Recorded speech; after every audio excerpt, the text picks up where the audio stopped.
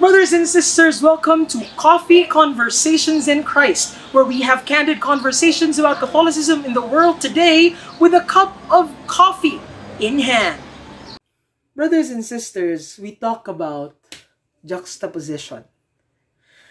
Today, instead of meditating on the gospel, I'd like to talk about the responsorial Psalms. Psalms because I'm from a fishing town and our patron saint is St. James. So today is a solemnity. And because it's a solemnity here, we celebrated that liturgy. And in the other church in our diocesan shrine, we celebrated the liturgy for the Sunday of Ordinary Time. And so, I'd like to talk specifically about the responsorial psalms because there's an amazing juxtaposition that we find between the two in the psalm for the Sunday of Ordinary Time, we read, The hand of the Lord feeds us. He answers all our needs. So there's this emphasis on the generous God. We'd read later in the gospel for uh, for today about the multiplication of the loaves. This is the prime example of the generosity of God, of God's ability to give all that we ask Him for. God's ability to give everything that we need.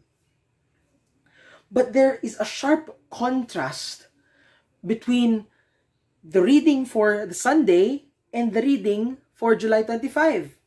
The psalm is, or rather, the response for the psalm is, Those who sow in tears shall reap with shouts of joy. It, it focuses on the suffering it focuses on the sacrifice that comes with being part of the kingdom of God. We read in the gospel for the celebration of St. James the story of uh, St. James's mother, where she asks Jesus to put James and John on his right and on his left. And Jesus tells her that you don't know what you're asking for. That are he asks them, Are you ready to drink from the cup that I drink? And it is a cup of suffering. It is a cup of torment. It is a cup of pain. And St. James was ready. He died. He would be the first apostle to die. But because there is this beautiful juxtaposition, it makes us think about our own lives, about what we want from Christianity, about what we really desire. Because modern Christianity is preoccupied with the first concept, with the concept of a generous God. It is a God that gives all that we need, a God that provides. And that's not a wrong uh, definition, or that's not a wrong description of God, because He is a generous Father. But there's this trend of claiming anything in the name of Jesus. I claim in the name of Jesus that I'll get that promotion or I'll get that car or, or I'll get that house. We have this focus on material things or even in spiritual things, even uh, just asking for things you'd think would help in the service of the Lord and you'd often not get them. And then you see people around you, people who are so far away from God, they get everything they want. And you ask yourself, and you ask God, Lord, I've done everything. I've been praying for so long. I, I believe, I trust you. And uh, I've been serving you. I've been giving you my everything. Why can't you give this to me? Whatever this is I'm asking for, why can't you hand it over?